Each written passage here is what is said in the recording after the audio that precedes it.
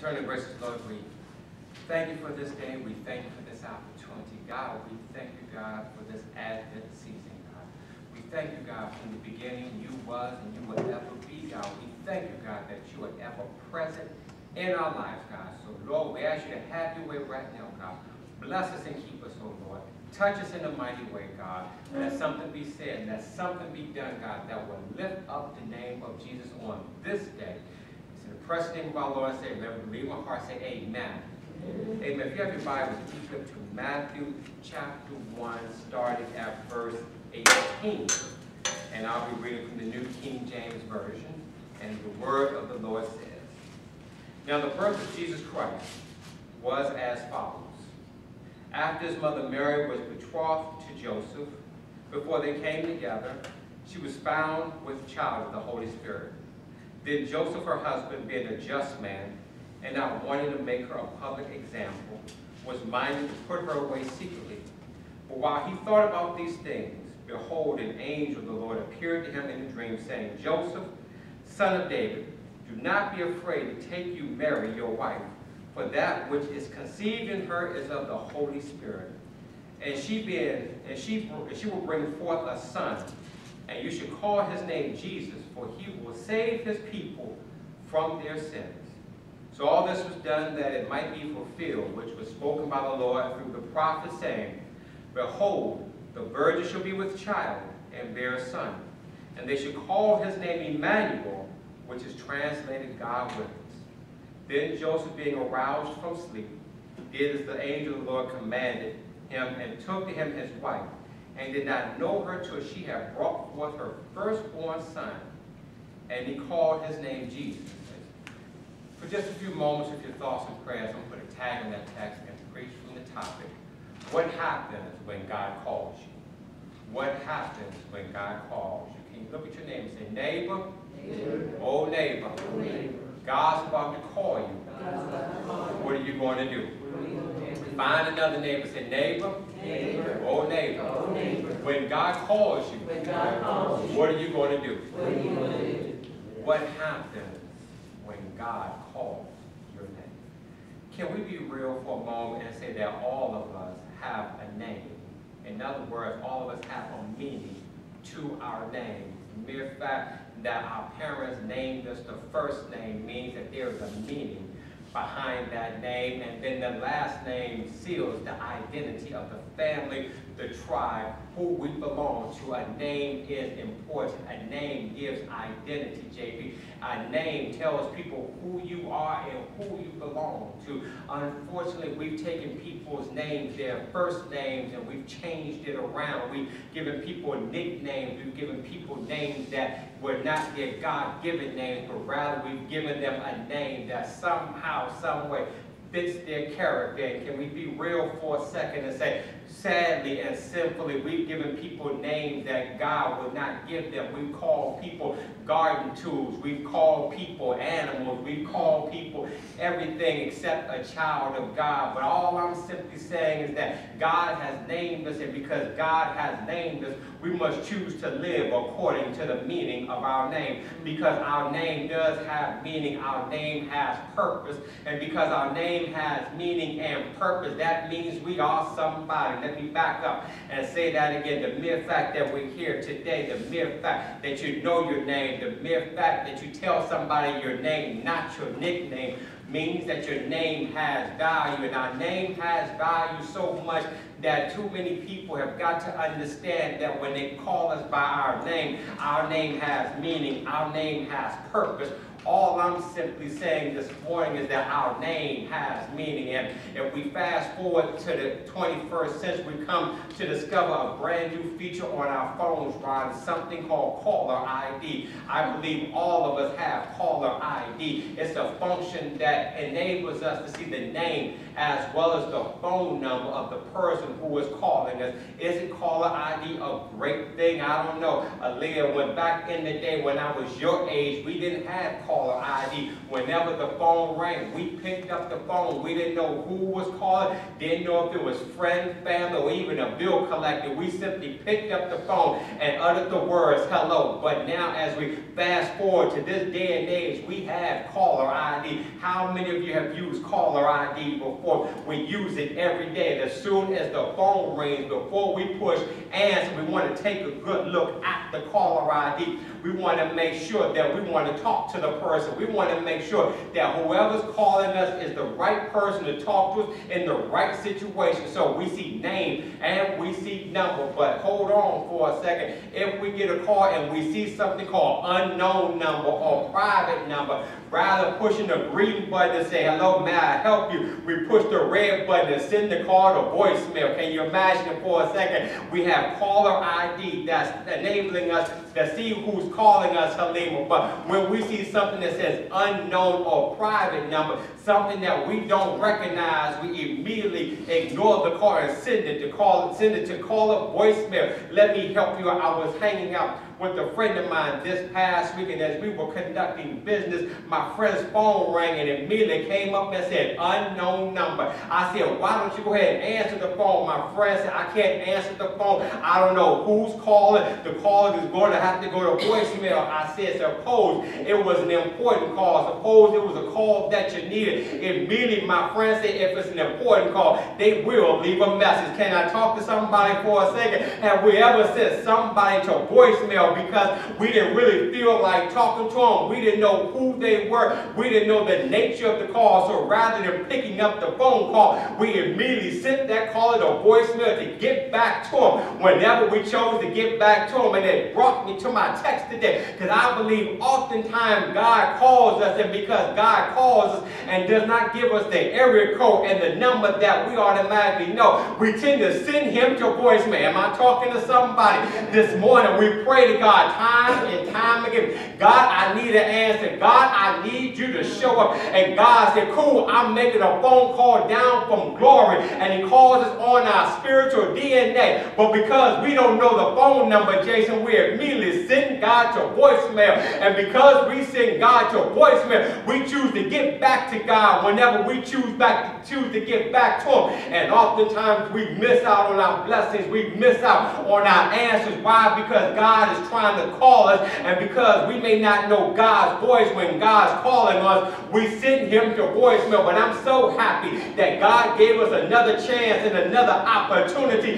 to hear his voice. So I got news for you. My man Joseph sent me a message to let you know what happens when you hear God's voice. Because the Bible lets us know that when Joseph was engaged to Mary, and Mary, as you know, was pregnant by the Holy Spirit, she was ready to give birth to the King of Kings and the Lord of Lords. But this time she's engaged to Joseph. She's betrothed to Joseph, who's a good man. The Bible says he's a, he's a just man. He comes from the house of David. He was a religious man. He comes from a religious order. He was engaged to be married to Mary. But all of a sudden he finds out some news that Mary is pregnant. But he's not the father. He, he, he hears news, Halima, that Mary, the love of his life, is pregnant and he's not the father. Can you imagine how this man felt? He said, Mary, I waited for you. Mary, I've given you my love. I've given you my heart. And this is how you repay me. You're pregnant and the baby's not mine. Can you imagine for a second how Joseph felt? Joseph felt hurt because he gave his life to somebody and now he hears some disheartening news. He feels, he feels that he's been alienated. He feels he's been slapped on. And I believe many of us, sometimes we've given our heart to something. And when we hear news from somebody that the, that the ministry, that the business is not ours, all of a sudden we realize, hold on, God, how is it that I feel mistreated? I felt lied to because Joseph, my friend, is simply, he's with Mary and he finds out that Mary has a child and the child is not his. It has to hurt Joseph. So Joseph has said, I'm going to let go of Mary. I'm going to let her go quietly. I'm going to give her a divorce. I'm going to let her go quietly because I can't handle it. I'm not ready for this responsibility. God, I can't deal with it. I don't want to deal with the situation. She's pregnant pregnant. Let somebody else handle it. This is too much for me. This is too much trouble. I didn't ask for it. I was engaged to her. She wasn't pregnant. I didn't have no issues. I didn't have any problems. But all of a sudden, I got an issue here. And God, I don't want to take responsibility for it. Has anyone ever been like that? That you received some news that you weren't even asking for, you weren't even expecting, and you said, hold on, God, I don't want to deal with this. God, I want to turn my back and run away. God, I want to close the door. But all of a sudden, the Bible lets us know that Joseph thought about these things.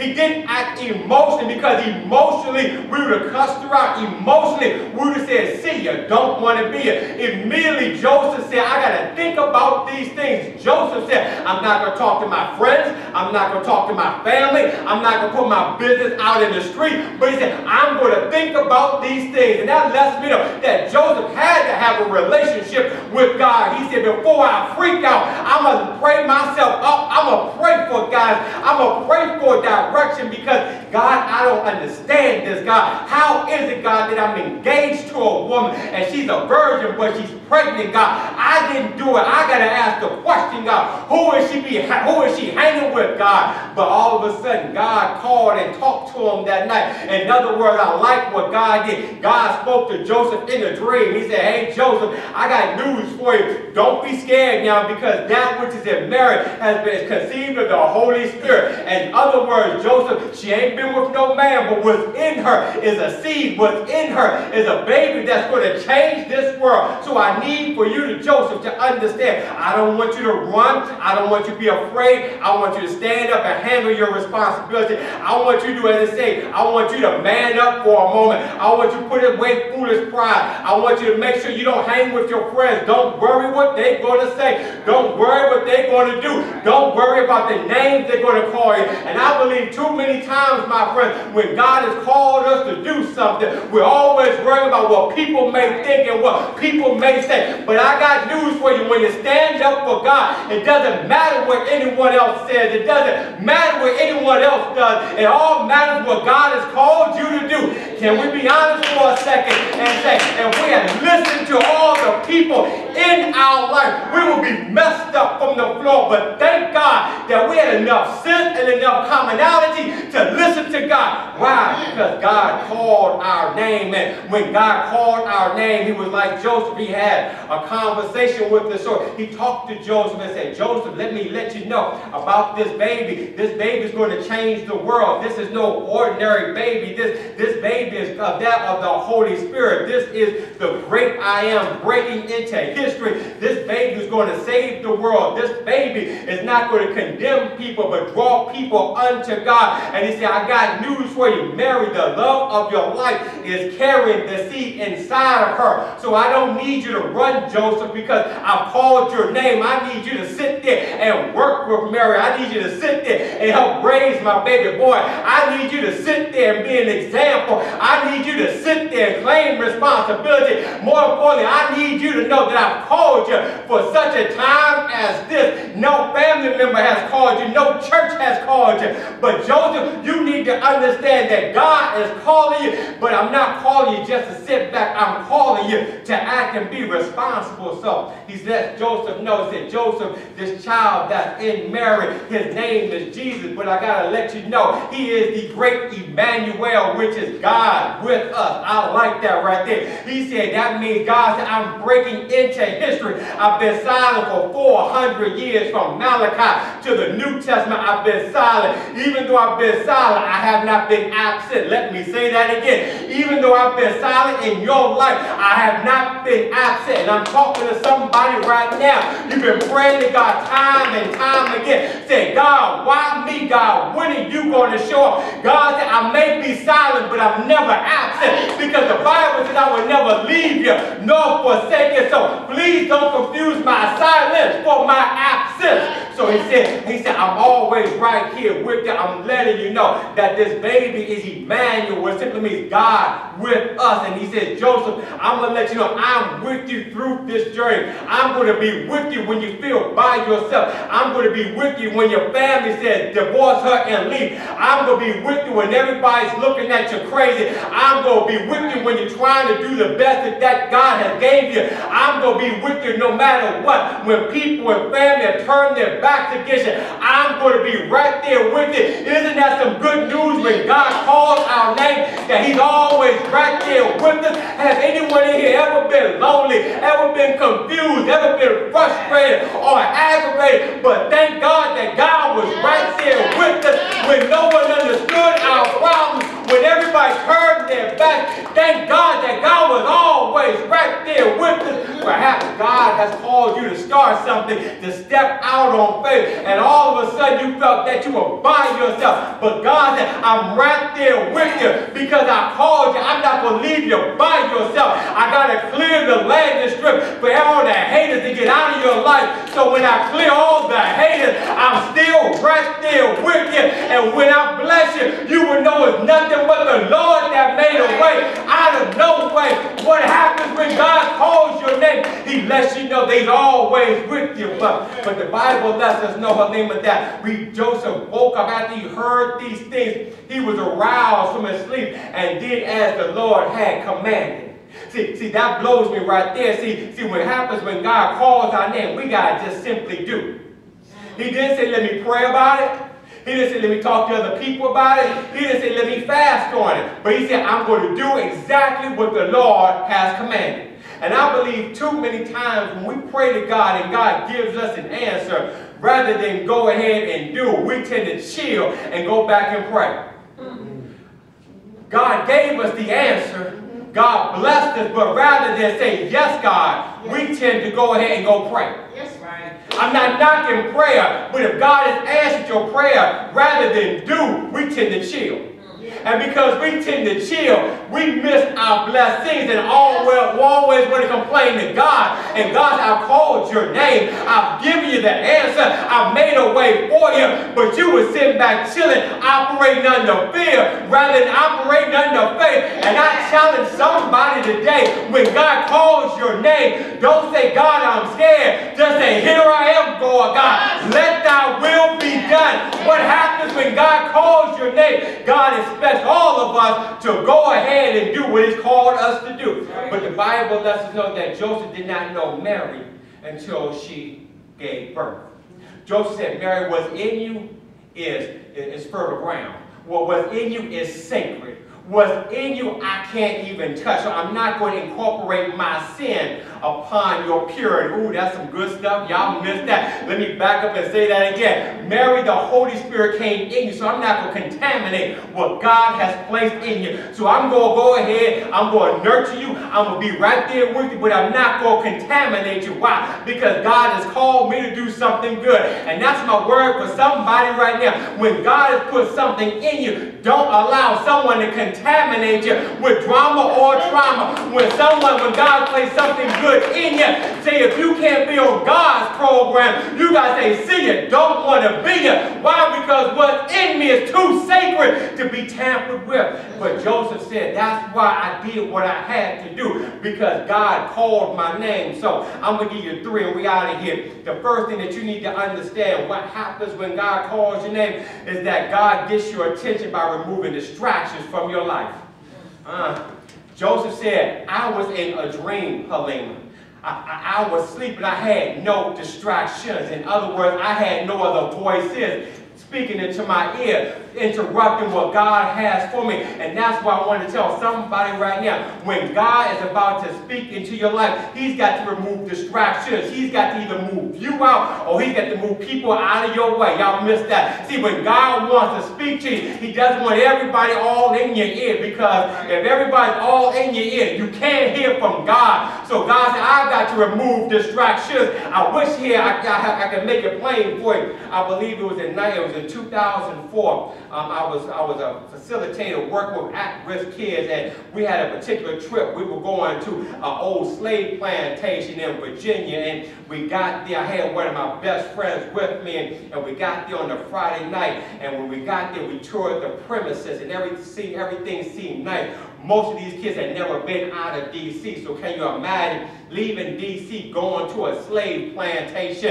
It blew their mind, but we went there on the mission to teach the kids that you got to get away from the mess here in order to clear your mind. So we got to the plantation. One of my best friends, it's 11 o'clock at night. It's dark out there. We're in the woods. We can't see anything. He tells me, he said, Rev, bring the kids out and keep them keep on walking until I tell you to stop. I looked at the man because I said, you must be crazy. I said, it's 11 o'clock at night. I don't see no moon. I don't see no lights. You got to be crazy. I'm not going to be walking out here in the woods hearing your voice and keep he said, just do what I need you to do. So we kept on walking. I got eight of the kids. We walked out there, and about after about three minutes, we walking out there, Halima, I see you looking at me kind of funny. We said, stop right here. We stopped in the middle of the field. He said, now gather in a circle. We gathered in a circle. He said, look towards heaven. We look towards heaven. He said, I don't want anyone talking. I want everyone to concentrate and look towards heaven. We're sitting there for about 20, 30 minutes, here. My mind is kind of, kind of, kind of coming up with many things. I'm trying to figure out what's the purpose of us sitting down on the ground at 11, 11.30 at night looking up towards heaven. Immediately the brother say, said, let the Lord speak to you. Okay, y'all that. He said, let the Lord speak to you. I said, man, I got to get back inside. He said, nah, man, just be quiet. Let the Lord speak to you. And so the Lord started talking to all of us in the individually. So we went back to the room. And let me fast forward the story. When we came back to the, came back to, after we left the facility, got back into the area, one young man said, you know what, Rev? I got a scholarship going to Penn State in football. Another young man said, I got a scholarship going to Georgetown. Not in sports, but in Why? Because all of us had to get away from the distractions they hear from Almighty God, which lets all of us know that greatness is within us as long as we submit unto God. And that's my word for somebody right now, that you have to get out and get away. When God wants your attention, he'll make, he'll make you shut off the TV, shut off the computer, shut off the cell phone. He'll make you shut off everything so he can speak to you. And when God speaks to you, don't be afraid. Just simply say, Yes, God, you're calling my name. And because God made you and God knows you, he'll call you by your first name. Oh, I'm sorry, Jason, I forgot because, you know, I did go to school. Let me give everybody my education here. I looked at the word Joseph, and it simply means Joseph, what simply means Jehovah has added. I like that. See, see, see, Jehovah has added, what simply means, Joseph, I'm going to add blessings unto you. Because of your faithfulness, I'm going to add blessings. Y'all missed that. Because you're doing what I've called you to do, I'm now going to bless you by being a father and being a husband to Mary. Oh, that's good stuff right there. Because of your obedience, I'm now going to add a blessing unto you. That you are in the same house with my son Jesus Christ. That you can partake and raise it, the son of God, that you are in the house of Almighty God. Why? Because of your obedience. And he said, because of your obedience, I'm now going to add you. But let me give you the second thing that the text does. what happens when God calls you by name? Not only will he remove distractions, but guess what? He sets forth your agenda.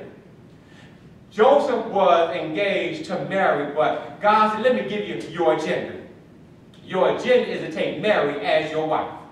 I, I, know, I know you don't understand this, Joseph, but, but I just need you to trust me for a second. I, I know you want to freak out about it, but I just need you to just hang in there with me and have a little bit of faith because faith will open up doors for you, Joseph. So, Joseph, I'm going to set forth your agenda, and your agenda is simply to take Mary on as your wife. Don't worry about anybody else, just take Mary as your wife. Don't worry what family members may say, just take Mary on as your wife. Don't worry if everybody starts calling your name, just take Mary on as your wife. I want to talk to somebody right now. Whatever God has called you to do, go ahead and do it. If it's to go back to school, go back to school. If it's to start your business, go ahead and start your business. If it's to go ahead and do whatever, just go ahead because God has set forth your agenda. Why? Because God has called you by name. Okay, let me help you out. Let me help you. I wish I could talk to some Old Testament prophet. You know, you know Abram, right? When Abram was just chilling with his family, he God said, just go, Abram. And Abram left. Why? Because Abram had an agenda. Because Abram had an agenda, God called his name. And because God called Abram's name, Abram went ahead and went off. Y'all missed. I wish I could talk to Samuel for a second. Samuel was a little young man going, hearing God's voice because God had an agenda for him. Isn't it something when you hear God's voice over your life that God says, go ahead, I got your agenda. All you got to do is be faithful and walk the walk. Don't worry about anything or everybody. Just go ahead and continue forward. Just walk straight. Don't look back. Why? Because God has an agenda. But you're not shouting. Can I give you my story for a second? Um, 2004, when I started the church, after I started the church, one of our first members said, Rev, why don't you go ahead and write a message? Every, don't you go ahead and write a message? I said, I'm no writer. My dad is in here. He'll let you know I didn't like writing in school. I, I really didn't care too much about it. I was just an okay student. I, I wasn't the best student, nor was I the worst student. I was an okay student. Didn't like writing, but one lady said, why don't you go ahead and write and write a message? So guess what? 2004 in October, I wrote one message. She liked it. She said, well, why don't you write another one? I went ahead and wrote another one. And guess what? Seven years later, I'm still writing. Seven, within that seven years, I had one book published. And guess what? After seven years, number two's coming out very shortly. Why? Because God set forth the agenda. It wasn't my plan. It wasn't what I called, but God set forth the agenda. I'm not bragging. I'm testifying that if you just do what God told you to do, God will make a way for you. It's not for all of us to understand because if I felt like I would write it back then, but God put something in me that said keep on writing. And that's my word for somebody right now. It may not be what you want. It may not be what you feel. But when God calls you by name, he'll set forth your agenda. He will bless you from the floor up. Don't worry about your life, but worry about what God has called you to do. But here's my last point. The last point is that you need to understand what happens when God calls you is God will remind you of his presence. That's what he told Joseph. He said, Joseph, I'm Emmanuel.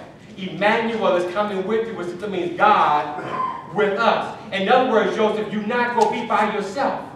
In other words, I'm bringing my best, my only begotten Son into the world to let you know that I'm always with you. You may have seen that I've forgotten about you, but I'm always with you. And that's what I'm trying to let somebody know right now. When God calls your name, he said, I'm always there with you. Don't let age stand in your way. Don't let economics stand in your way. Don't let education stand in your way. Why? Because God, I'm going to remind you of my presence and him closing right now. But let me tell you about my man George Foreman. You know George Foreman. He used to be a big-time boxer way back in the day when he was young Ronnie. He was a heavyweight champion, but George Foreman had a crazy thought one day. He said, let me come out of retirement and go ahead and box again. Everyone say, George, you can't do it, George. George, you're overweight. George, you're too old. But George had something on the inside. He had the spirit leading him and guiding him to let him know, I'm right there with you, George. You may be overweight, but I'm right there with you. You may be too old, but I'm right there with you. When now your haters are trying to bring you down,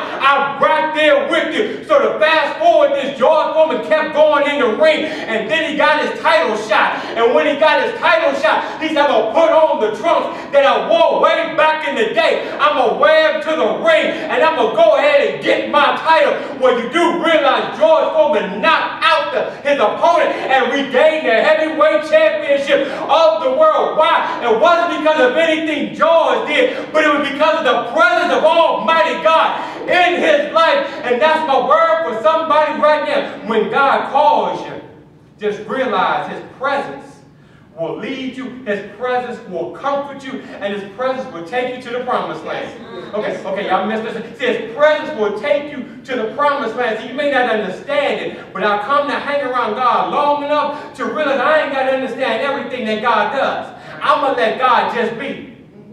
We back to See, see, when I let God be, and I say, yes, Lord, then God takes care of everything else. All I got to do is just show up. And when I show up, God just somehow order my steps. Y'all missed that. See, when God orders my steps, he'll open up the doors. He'll clear the pathway for me to walk through. And so when I'm walking, I can truly say, not by my will, not by my might, but nothing but the Lord that's been in my life, leading me and guiding me along the way. And then I can be like David said, the Lord is my shepherd. I shall not want. Why? Because he called my name.